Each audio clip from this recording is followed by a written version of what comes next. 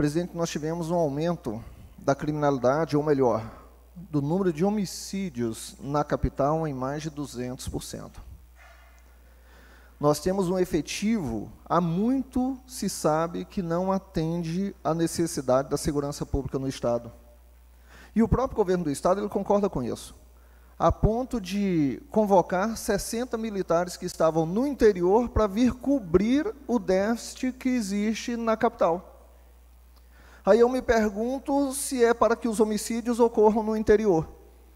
Nós temos hoje um grupo de excedentes do último concurso que foi prometido pelo governo do estado para que possam vir a assumir, ou melhor, passar pelas etapas necessárias para possivelmente integrar a Polícia Militar do Estado de Tocantins, prometido há quase um ano e até hoje não foram chamados. Nós temos a necessidade de concurso público que, infelizmente, demora-se quase uma década para que venha a promover a sua realização.